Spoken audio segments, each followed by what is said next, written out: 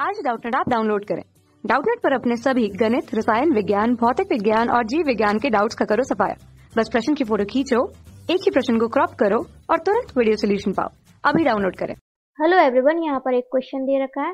निम्न में से कौन विषाणु जनित रोग है, हमें ये बताना है। तो पहला ऑप्शन है हमारे इस प्रश्न के लिए फ्लू तो यहाँ पर हम फ्लू को देखते हैं एक बार। फ्लू यहाँ लिखते हैं हेडिंग डालते हैं। फ्लू तो जो फ्लू है, ये क्या है? एक वायरल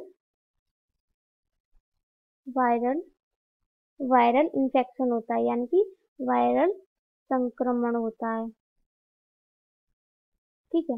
वायरल संक्रमण होता है, जो किसी इंसान या हम कहें कि भोजन, दूषित जल या फिर मल, मूत्र, इनके द्वारा लग जाता है। अब ये किसके कारण होता है? ये राइनो वायरस के कारण होता है। जो राइनो वायरस होता है, वो ये कर देता है, मानव में फ्लू पैदा कर देता है। अब इसके लक्षण क्या है? मानव में क्या होता है? सर्दी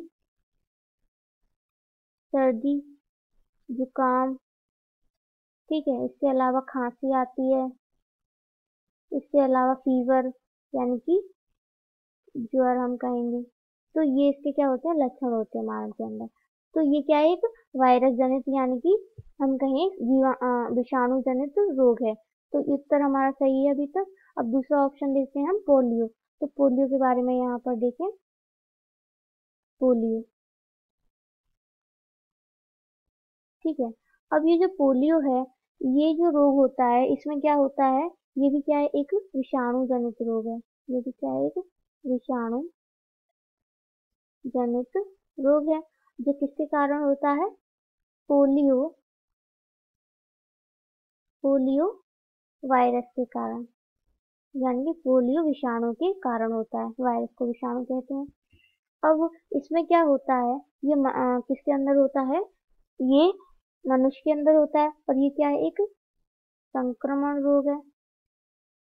संक्रमण रोग, जो दूषित जल व दूषित भोजन का उपयोग करने से होता है। अब इसमें क्या होता है? कमज़ोरी आ जाती है एवं अपंगता भी आ जाती है। यानी कि इसके कारण जो मानव होगा वो अपंग हो सकता है ठीक है? अपंग यानी कि उसके आ, ये जो इन्फेक्शन है वो हाथ पैरों में फैल जाता है जिसके कारण क्या होता है? मानव के जो शरीर होता है उसका सही से विकास नहीं हो पाता है। तो ये ऑप्शन भी हमारा सही है क्योंकि ये भी विषाणु जनित रोग है। अब हमारा तीसरा ऑप्शन है एफ़ तो यहाँ एफ़ के बारे में समझते हैं। एड्स ये जो एड्स है, ये एक यौन संचारित रोग है। क्या है ये? यौन संचारित रोग है।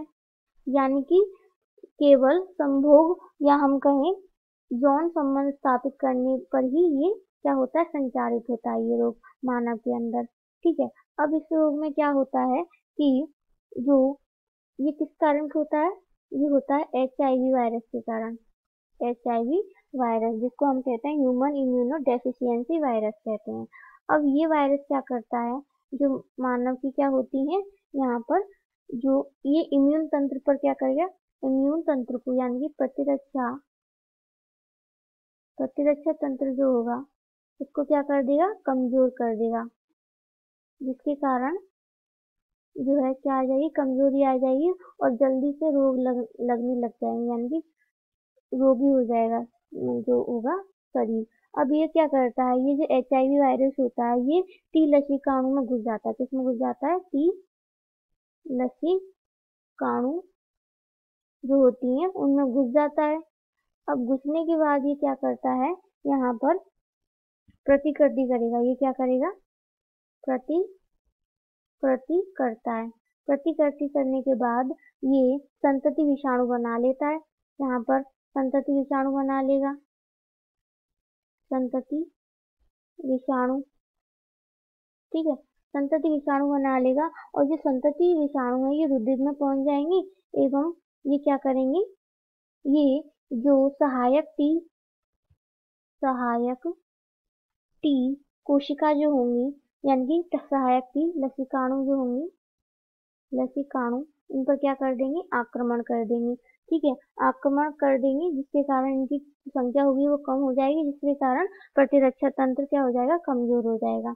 और ये रिपीट होता रहता है साइकिल तो ये भी क्या है? एक विषाणु जनित रोग है। तो हमारा जो उत्तर हो जाएगा इस प्रश्न के लिए, वो हो जाएगा इनमें से सभी। इनमें से सभी, यानी कि हमने देखा कि सारे जो रोग हैं, वो क्या हैं? वायरस जनित यानी कि विषाणु जनित रोग हैं। ये तीनों ही फ्लू पोलिया और एफ़ धन्यवाद। कक्षा छठी से बारहवीं से लेकर NEET I I T JEE वो एडवांस के लेवल तक। एक करोड़ से ज़्यादा छात्रों का भरोसा। आज ही डाउनलोड करें डाउट नेट ऐप या व्हाट्सएप करें अपने सारे डाउट्स आठ चार सौ चार सौ चार सौ पर।